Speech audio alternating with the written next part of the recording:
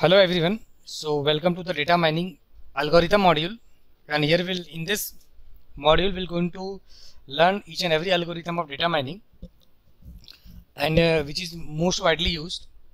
Uh, so before start with the data mining algorithm we should have some of the idea about the data mining. So we'll start with the data mining basics first. If you'll see the definition of data mining, in data mining is nothing but it is a whole process uh, where we are identifying hidden pattern from huge volume of database or data warehouse sometime. Uh, actually what happened by firing a simple normal SQL query we cannot find the hidden pattern from any database. So if we need to find hidden pattern or or any other kind of data or any other kind of relationship between the data then that can be only find with the help of data mining algorithm. So if you'll see to identify hidden pattern there are so many algorithms are available in data mining. There are more than 100 numbers of algorithms. So here if you see where every algorithm has uh, categorized into some group and that categorization of group is called basically data mining functionalities. Uh, if you see the data mining functionalities the data mining functionalities the most famous use data mining functionalities are association mining. In association mining basically we are identifying the associated pattern from database or from data warehouse. In association mining, basically generally we are finding a frequent item sets or uh, after finding the frequent item sets, then we generate the rule and and that rule can be strong rule or that rule can be that rule cannot be strong sometime. So now after that, you will see the next data mining functionalities is a basically classification. In classification, basically what we are doing, here we are dividing the data into number of groups or uh, sometimes it is also called number of classes. And that kind of algorithm is basically here we can say that kind of algorithm is basically a supervised learning algorithm.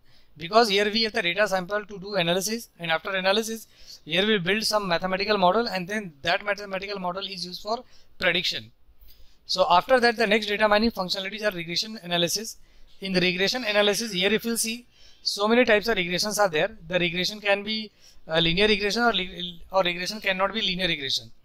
So in a linear regression here also it is used for the purpose of prediction but only difference is that in classification here we use, we use the discrete data samples to do the data prediction but here we use continuous data sample to data continuous data samples to do the prediction and the next data mining algorithm is a clustering. Clustering is very much similar to like classification only.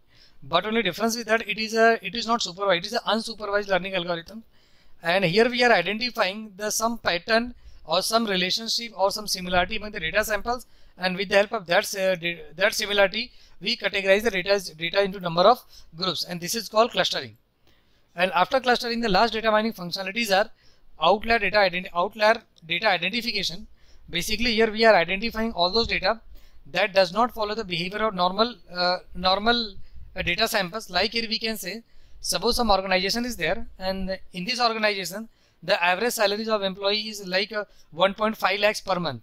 But there might be the case uh, if suppose if some employee is there and he is getting a salary of 3.5 crore. So here we can say the salary of 3.5 crore is a too much salary it is not a normal data it is a it is completely here we can say it is outstanding data or, or it is a abnormal data and that kind of data is basically called outlier data. So again I am repeating that if data sample does not follow the common behavior then that kind of data can be called as outlier. So outlier data sometime it may uh, sometime it may be wrong data or, or sometime it may be correct data also. That depend on the scenarios. So in data mining basically here we'll see all all these five algorithm and we'll solve the problem on the basis of that. Uh, so here here we can see the tree diagram. In tree diagram here all data mining functionalities are explained over here and all al al algorithms are uh, displayed like uh, as already I had explained data mining has a total five functionalities so here we are not including outlier identification and the whatever is the rest of the you know, data mining functionalities we, we have and we'll solve the problem on that topic like the first one is association mining. In association mining the most popular algorithms are Apriori algorithm as well as FP tree algorithm. Like in classification the popular algorithms are Bayesian and ID3 algorithms. And in, cl in clustering the the two popular algorithms are k-means algorithm and hierarchical clustering algorithm. And inside the regression analysis we'll see linear regression and polynomial regression. So basically what we have to do in entire module here we're going to cover here we're going to cover the topic of Apriori FP tree, Bayesian, ID3, K-means algorithm, hierarchical clustering, linear regression and polynomial regression. So from next lecture we'll start from association mining. So this is the end of first lecture. Thank you.